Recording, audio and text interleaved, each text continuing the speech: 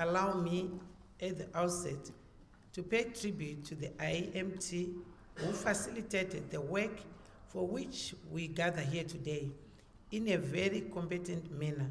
Their ability to identify the crucial contents of this communication strategy tool will be remembered as the hallmark of their programming pro prowess throughout the alignment of process work. Ladies and gentlemen, you will agree with me that the alignment process is not the task of government alone, but of all the stakeholders, including developmental partners and non-state actors such as the civic society, the academia, and most importantly, the general public. The launch of the website today uh, is more than a mere embracement uh, of ICT, uh, as we recognize that information is knowledge and knowledge is power. The website will therefore empower uh, all people who desire to know what is going on with regard to the alignment process with knowledge and news. It will also update uh, people with events that will be taking place uh, all over the country with regard to the uh, alignment uh, of legislation. The launch of the website bears testimony to the quest of the Ministry of Justice, Legal and Parliamentary Affairs to ensure that justice is delivered to all through information dissemination. The Interministerial Task Force uh, is led by a secretariat uh, consisting of uh, uh basically three bodies, if I may call them that. Uh, that is my own office, the Attorney General's office, uh, then the Law Development Commission, uh, and then the uh, uh, Constitutional and Parliamentary Affairs Department of the Ministry of Justice, Legal and Parliamentary Affairs. Now, the functions of the Interministerial Task Force um, can basically be summarized uh, as being four. Uh, the first one being to ensure uh, a concerted effort towards the alignment uh, of legislation to the Constitution. Uh, the second one being to uh, receive and advise on progress reports received from the line ministries on alignment.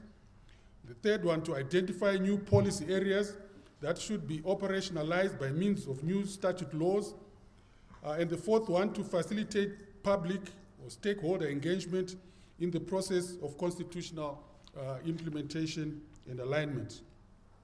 In essence, the IMT is there to facilitate the work uh, of all line ministries whose role it is to initiate legislative reforms on the laws that they administer for purposes of alignment with the Constitution. This work uh, of the IMT uh, uh, is greatly assisted by a technical partner uh, in the form of the Center for Applied uh, Legal Research, uh, which is headed by Mr. Chishakwe, uh, who is uh, sitting up here. Um, and uh, the funding for the process has been provided very kindly by the European Union.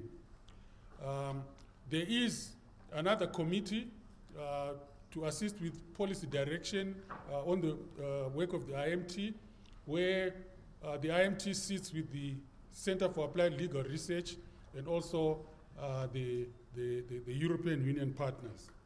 Now, in order to monitor and evaluate progress being made, uh, the IMT has developed uh, a monitoring and evaluation tool known as the Control List Bill Tracker. Uh, once you go onto the website, you'll be able to see this bill tracker. Uh, the bill tracker provides a summary of the status of each bill for purposes of monitoring and evaluating progress made in the legislative alignment pro process. Through the control list bill tracker, the IMT has been able to monitor the overall progress which has been made during the alignment of laws process and to conduct an overall analysis and make recommendations accordingly.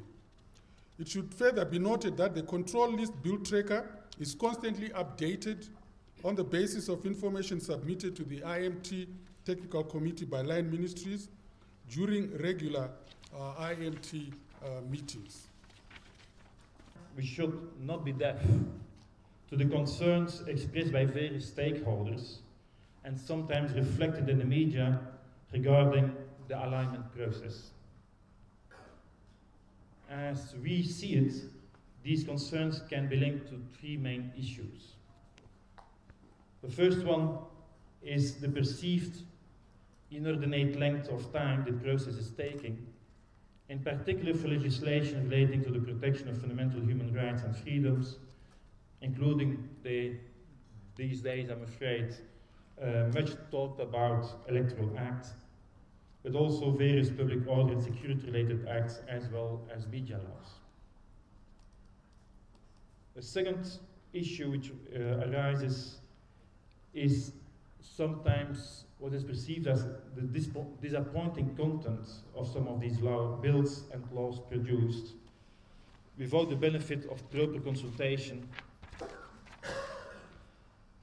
and assistance for prior quality screening by legal experts made available. Thirdly, there are also questions regarding what sometimes appears as a fragmented approach to the alignment process, where different acts and bills covering or touching upon the same thematic areas should be tackled together in order to ensure internal consistency and coherence. As, for example, as the case, I'm thinking now of the local government uh, thematic area, where you have, of course, the local authority acts, you have the Rural Districts Act, you have the, the Environmental Act, you have the Traditional Leaders Act, you have a couple of acts which influence each other, interact with each other, and which should be tackled uh, in a coherent way.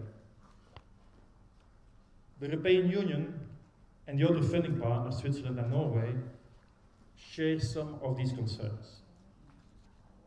Indeed, the project committee, which consists of the funding partners, the Minister of Justice, and the Center for Applied Legal Research, has had lengthy discussions on how to speed up the alignment process whilst reinforcing the quality and internal consistency of the bills being prepared.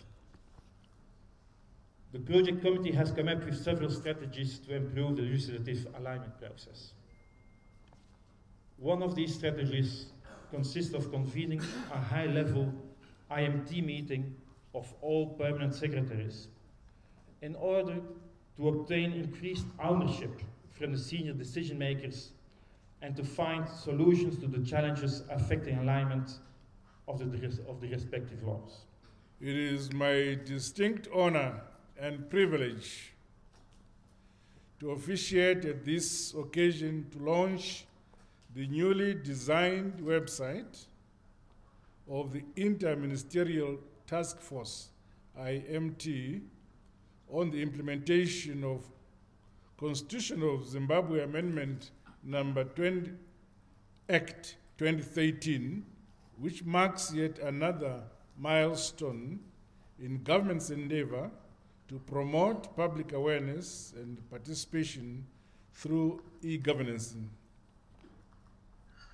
Section 2, subsection 1 of the Constitution provides that this Constitution is the supreme law of Zimbabwe and any law practice, custom, or conduct inconsistent with it is invalid to the extent of the inconsistency.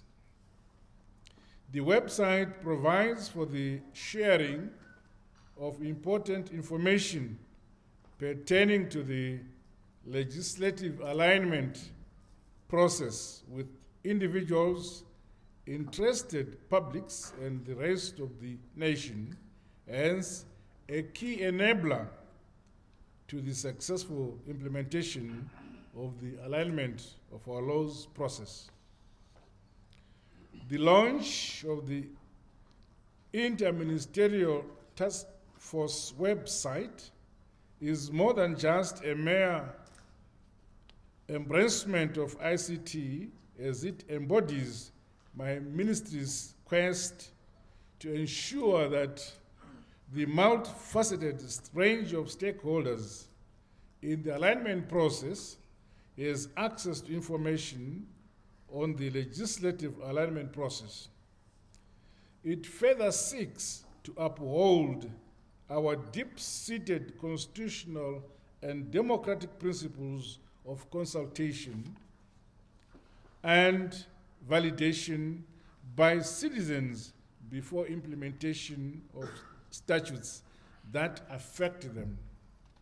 I'm therefore delighted with the potential of this achievement in assisting my ministry through the IMT to communicate better and serve the public more effectively. It is my hope that the website will be put to good use by our people. I also wish to thank all stakeholders for affording time to attend this important launching ceremony and urge them to continue to join hands with government to ensure a successful alignment process of our laws to the new constitution. With these few remarks, it is my singular honor and pleasure to declare the Interministerial Task Force website officially launched.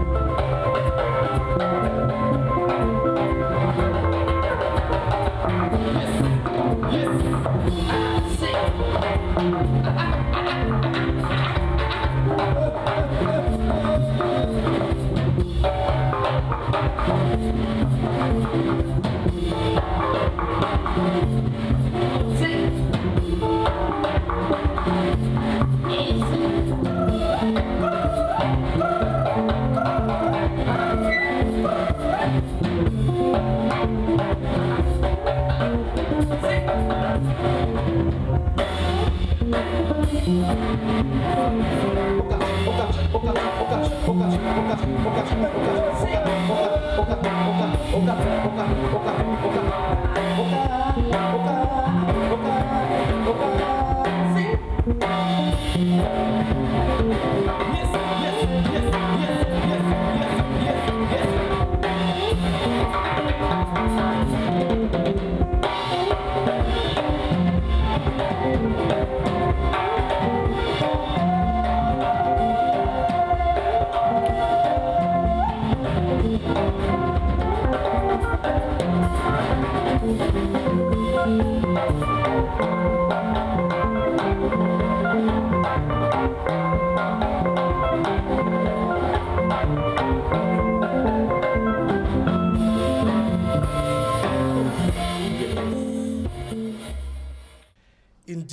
the work of the IMT, as eloquently explained by our speakers this morning, attests to the attempts by the state to make justice reside first in the hearts and souls of the citizens in order for it to express itself in the life and conduct of the state. Ladies and gentlemen, we have heard that the IMT is playing a crucial role in ensuring that the laws that govern us as citizens today in our day to day lives truly reflect the letter and spirit of the Constitution. This is being done through a comprehensive process, we have learned, that places citizens and stakeholder consultations at the center.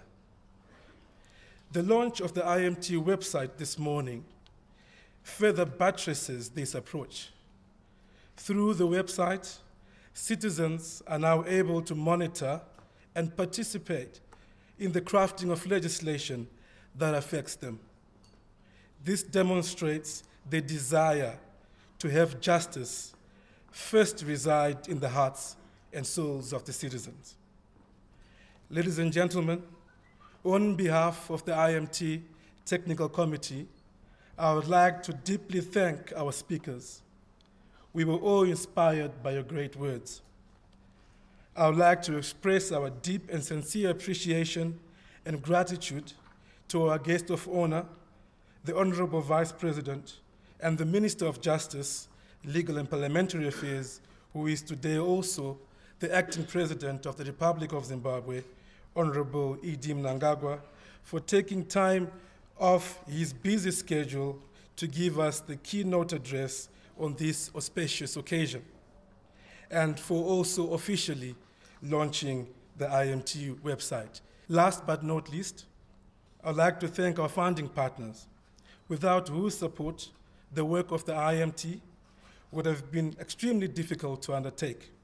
In this regard, I would like to specifically thank the delegation of the European Union, the Embassy of Switzerland in Zimbabwe, and the Embassy of Norway in Zimbabwe for their support to the work of the IMT.